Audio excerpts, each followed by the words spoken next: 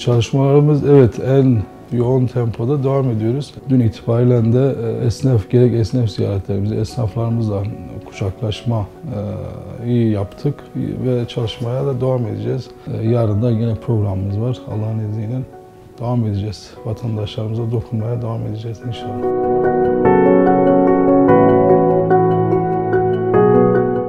Evet, bu konuda çok ciddi çalışmalarımız var. Doğru, para gelir olmadan e, vatandaşa yansıtmanız çok zor, ilçeye yansıtmanız çok zor. Dolayısıyla gelir artırıcı projelerimiz fazlasıyla var. Lansmanlara hazırlanıyor. E, İnşallah en kısa zamanda kitapçık haline getirilip e, görselleriyle beraber vatandaşlarımıza sunacağız Allah'ın izniyle. Bu konuda çok ciddi çalışmalarımız var.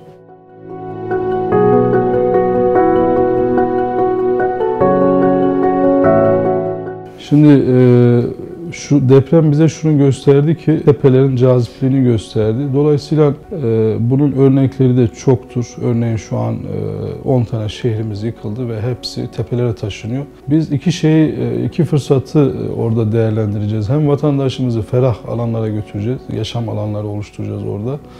E, hem de e, vatandaşımızı gerek depremden de bir şekilde korumuş olacağız. İki hedefimiz var. Hem e, geniş yaşam alanları oluşturmak hem de vatandaşı daha yaşanabilir, daha e, hayat garantisi olacak şekilde yaşam sunacağız inşallah.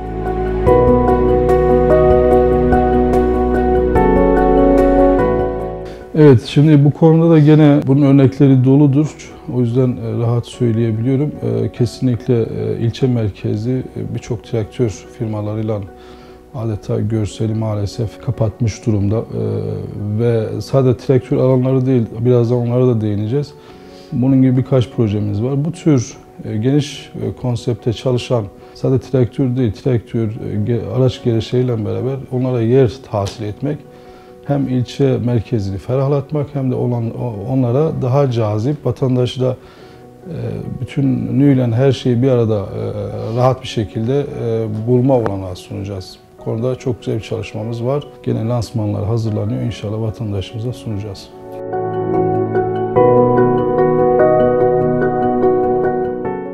Evet maalesef e, sorunlarımız çok. Gençlerimiz yani kuancılarda e, maalesef ben e, daha az biliyordum ama e, kurumlarımızı gezince yaklaşık 4-5 bin gencimiz gene yurt dışına gitmiş. Ee, bunların gidiş sebepleri tabii ortadadır. İstihdam alanlar eksikliği var, yaşam alan eksikliği var. Vatandaşı ilçede tutmak için onlara iş alanları ve e, yaşanabilir bir ilçeye getirmek için tabii ki üzerimize düşen görevler var. Hem istihdam hem de yaşanabilir bir kuanjar e, yapacağız ve gençlerimizi burada ilçede tutmak için gayret göstereceğiz inşallah.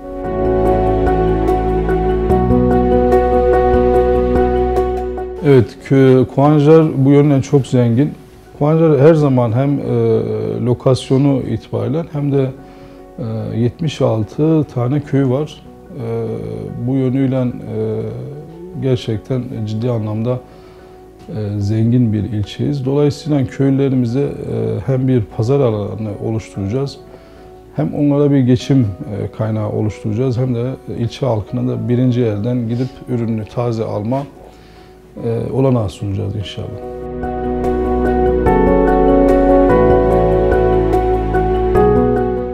Evet.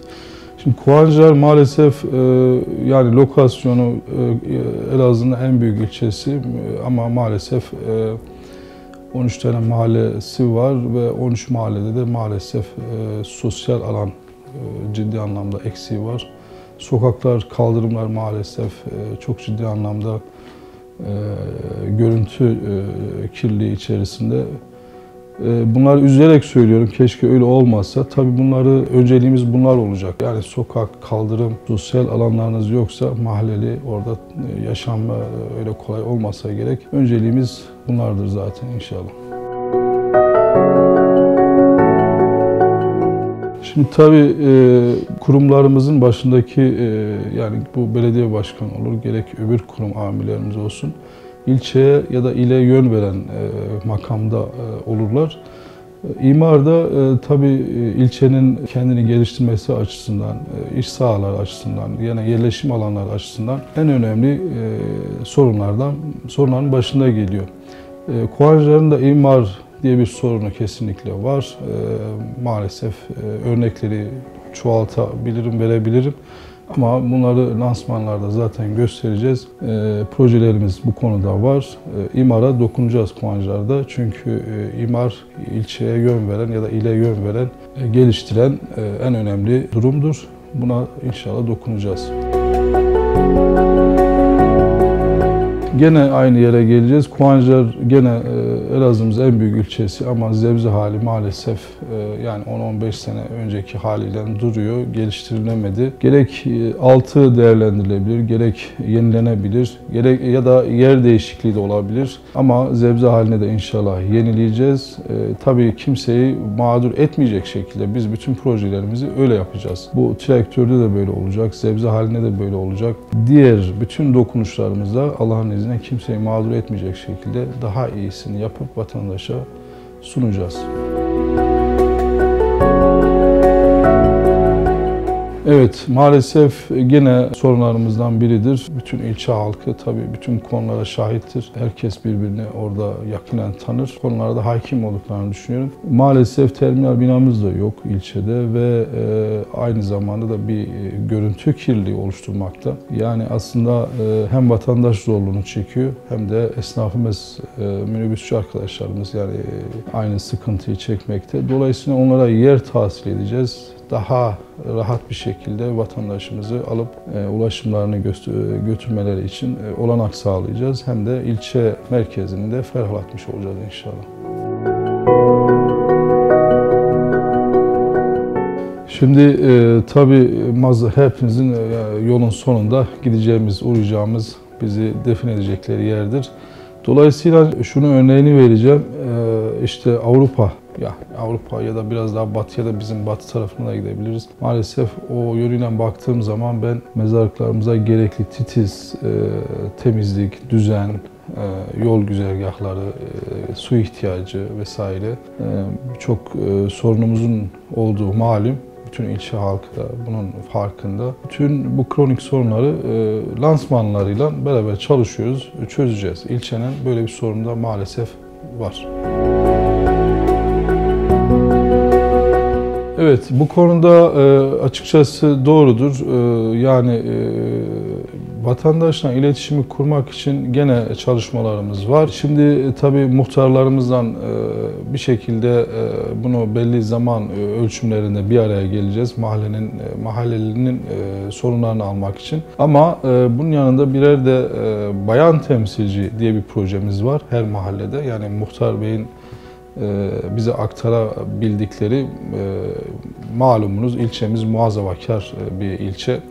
Dolayısıyla baha- bayanlarla iletişimi kurabilecek e, her mahallede birer bayan temsilci projemiz var. E, Gidip e, bayanların sorunlarını, sıkıntılarını dinleyecek, belediyemize aylık e, rapor haline getirecek. Biz de e, nacizane belediye olarak elimizden ne gelirse e, yaşlılarımıza, ihtiyaç sahiplerine e, her neyse yapabildiklerimizi kurumlarımızdan beraber el birliği içerisinde çözüm diye bir projemiz var. İnşallah onu da yerine getireceğiz. Şimdi şöyle e, mahallede Kuancar yani Elazığ da öyle. İlimiz, ilçemiz e, muazzavakar bir bölgedeyiz. Bayanlarımız bütün sorunlarını tabii e, eşine, abisine, babasına anlatmayabilir. E, dolayısıyla e, bu konuda hassasiyetle bu durumu özel olarak arkadaşlarımıza ele aldık. Bize verecekleri birer bayan temsilciyle inşallah bayanlarımıza ulaşacağız, sorunlarını alacağız. Belediyemizde birer ay periyotlarda inşallah gündemimize alacağız ve çözüm üreteceğiz.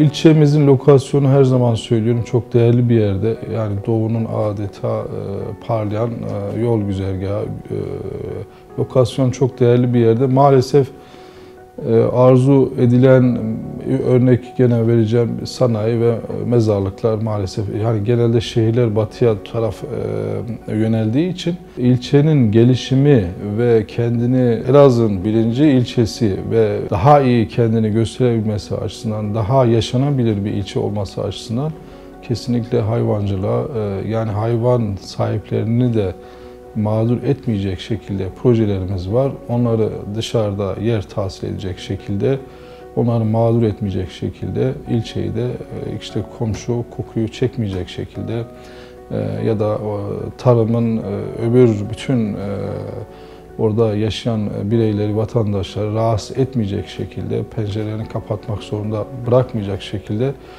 çözüm üreteceğiz ve ilçeye hem rahatlığa kavuşacak hem de üreticimizi ve hayvan e, sahiplerini de daha e, rahat ortamlara götüreceğiz inşallah.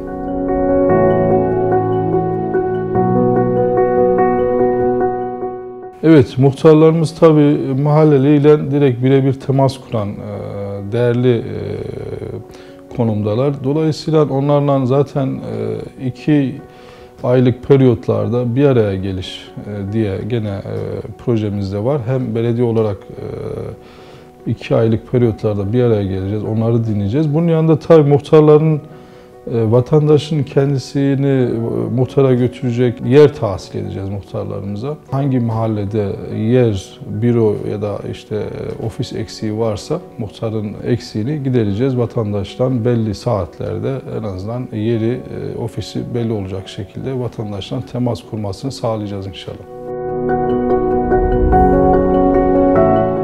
Evet, ilçe tabii gelişiyor, büyüyor. Belli yerlerde taksi durakları var ama maalesef gördüğüm esnaf ziyareti, çarşı ziyaretlerimizde gördük. Ee, gerçekten e, üzülerek de söylüyorum. Ne yazık ki duracakları e, birer ofisleri e, ya da ya da önümüz kıştır. Kendileri ne muhafaza edecek ortamlarını görmedik. İnşallah onlara da hem kendilerine yer tahsil edeceğiz hem de daha lokasyonun güzel yerlerde, daha vatandaşa kolaylık da açısından daha güzel yerler tahsil edeceğiz ve aynı zamanda kulübelerini oluşturacağız. Ee, böyle bir projemiz de var.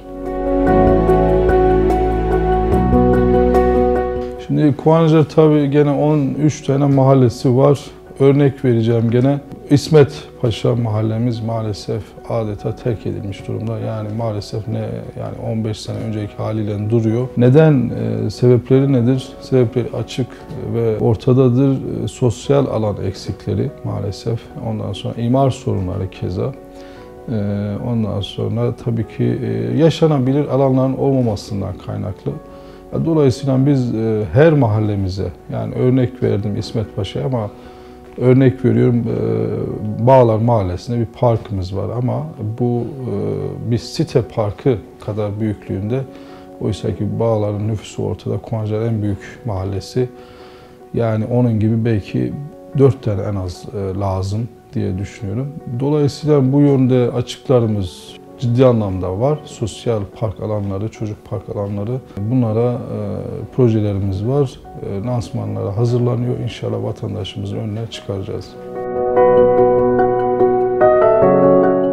Ya maalesef biz e, kurumları gezdiğimizde şunu dinledik bütün kurum amirlerinden. Birçok memurumuz maalesef ilçede yaşamıyor. Bunların sebeplerine indiğimiz zaman işte yaşanabilir alanların büyük oranda en büyük eksiğin o olduğunu tespit ettik ve dolayısıyla e, gene güzel bir projemiz var. E, bir dere ıslah e, durumu var Kumanca'da. Kapı açmazdan ta eski Sıvam'a kadar giden. Orası zaten park projesidir ama onu bir türlü e, bizden önceki şu anki mevcut belediye dahil maalesef oraya eğilmediler. Oysa ki orası çok güzel bir park alanı. Sosyal e, alanlar e, olarak vatandaşa kazandırılabilir idi. Maalesef kazandırılmadı ama biz buna inşallah niyetliyiz. Yukarıdan ta aşağıya kadar dört mahallemizi barındıracak şekilde çarşı merkezinde rahatlatacak park alanları, bantlar, işte e, yaşlılarımızın gidip rahat oturacağı alanlar, gençlerimizin gidip top sahasında oynayacak şekilde yaşanabilir bir e, parklar kazandıracağız. Ve bu hem dört mahalleyi hem de ilçe merkezini rahatlatacak çok ciddi bir proje bu arada. E, bunun da lansmanı hazırlanıyor. İnşallah vatandaşımıza bunu da sunacağız. Şimdi tabii e, muazzavakar bölgedeyiz. Aynı zamanda şeyi e, yani göç alan bir ilçe tabii ki Kuancar ilçesi. Bu konuda bizim e, geleneklerimizde de var. E, her inanca saygılıyız. E, dolayısıyla e, inanç yerlerini tabii ki e, titizlikle bize belediye olarak ne düşüyorsa üzerimize düşeni her zaman e, yapacağız ve buna kendimizi zorunlu da görüyoruz zaten. Herkesin inancına saygı gösterecek şekilde belediye olarak e, üzerimize ne düşüyorsa yapacağız. Ya ilçe halkı tabii göç alan bir e, lokasyonu itibariyle e, bir ilçe. Dolayısıyla ben bunu zenginlik olarak görüyorum. Yani e, Tunceli'de var, Karakocan'da var, Bingöl'de var, Vanlı'da var e, yerel e, halkımızda var. 76 etrafında köy var. Ben e, birçok insanın bir araya geldiği zaman farklı bölgelerden ben bunu Avrupa örneğini vereceğim. Avrupa bunu iyi değerlendirdi ve buradan bir zenginlik çıkardı. İlçemizi biraz benzetmiş olmayayım ama e, değişik yerlerden göç almasının bir kazanım olduğunu düşünüyorum. E, tabii ki bize düşen görevler de vardır. Vatandaşı bir arada tutacak e, işte inanç yerleri, ondan sonra gerek e, komşuluk ilişkileri vesaire e, bize de düşenler vardır. Biz bunu zenginlik olarak görüyor ve e, bu konuda üzerimize de ne düşüyorsa yapacağız inşallah. Şimdi Kuancar ilçesi tabii ben şöyle bir örnek verebilirim. Merkez camisi en son yapıldı ve biz dışarıya bir yardıma, para yardımı için arkadaşlarımızdan çıktık. Orada da gördük ki ilçe halkı müthiş bu konuda gönül zengini. Gerçekten bunu hani ispata ihtiyaç yok. Bütün arkadaşlarım da şahit zaten. Gene ilçe halkının e, sofra zenginliği olduğu, e, misafirperver olduğu e, herkesin malumudur. Ben bu yönüyle de kendilerine her zaman çok teşekkür ediyorum. Kesinlikle bu konuda yani mütevazı olmayacağım ama çok zenginiz bu konuda misafirperverlikte. Evet bu konuda e, çok e, fazla ben değil açıkçası son 4-5 senemiz bence e, bizi iyi ifade eder Kuancılar'da. Doğrudur birçok yatırımı buraya getirdik. Nedeni şudur manevi bakış açımız var tabii Kuancılar'a. Hem buralıyız hem burada doğduk ve sonuç olarak tabii ki burada yani yolun sonu da burası. Burada tabii ki açtığımız iş yerlerinin istihdama sağladığı şeyleri çok daha farklı görebiliyoruz. Buradaki istihdam örneğin 3-4 bin insanımız dışarıya iş için gitmişse burada açacağımız her iş yerinin ne kadar değerli olduğunu kesinlikle bizatihi gördüm. Bakış açımız odur. Yani buraya ihtiyaç var. Burada e, bütün iş adamlarımızda her zaman olduğu gibi gene söylüyorum. E, burası bizimdir. Burada e, doğduk, burada büyüdük yolun sonunda burada olacağı için burada hepimize düşen işler vardır, görevler vardır. Umuyorum ki e, bu konuda zaten ilçe halkı bu yönüyle de çok e, şanslıdır. Çok değerli iş adamlarımız var. Kesinlikle dışarıda çok ciddi başarı kazanmış insanımız var. Onların hepsinin e, bu maneviyatları taşıdığını bizatihi şahidiyim ama tabii ki bizim de görevlerimiz vardır. Onlara burada onları bir araya getirecek, onları teşvik edecek. Belediye olarak bize de düşenler vardır. Biz e, açıkçası bu açık durumları da ben bizzat içinde olduğum için bu sorunları tespit aşamasında çok ciddi çalışmalarımız oldu. İnşallah bu konuda bir çalışmamız olacak. Dışarıdan iş adamlarımızı ilçeye teşvik edici e, projelerimiz olacak. Şimdi tabii ben bu çalışmaların bu aday adaylık sürecindeyiz şu an. Bütün arkadaşlarımın başarılar diliyorum. Sonuç itibariyle verilir verilmez bütün adaylara e, yolun sonunda herkese hayırlı olmasını temenni edeceğim herkes için. Gayet mütevazi, güzel. Herkes arzu ettiğimiz şudur tabii. Kuvancılara herkes proje ağırlıklı ne yapabilirlik açısından milletimizin önüne bu şekilde e, çıksın, çıksınlar ve hakkımızda onlar için de bizler için de hayırlısını temenni ediyorum. Şimdi biz tabii e, iki gün boyunca e, vatandaşlarımızdan bir kucaklaşma şansı yakaladık. Ziyaret etme şansı yakaladık. Açıkçası ben e, çok mutlu oldum. Çok değerliydi, çok güzel, çok sıcak karşıladılar bizi. Biz de öyle. Yani o elektriği onlarla yüz yüze gelince, sarılınca çok daha mükemmel bir şekilde karşılık buldu diye düşünüyorum. Evet bunu biliyorduk ama e, bunu bize e, karşılamaları e, fevkaladeydi. Kendilerine çok teşekkür ediyorum ve çalışmalara tabii ki devam edeceğiz. E, Daha birçok yere uğrayacağız. Uğramadığımız her yere uğrayacağız. Her sokağa, her mahalleye uğrayacağız ve onlarla kucaklaşmaya devam edeceğiz inşallah.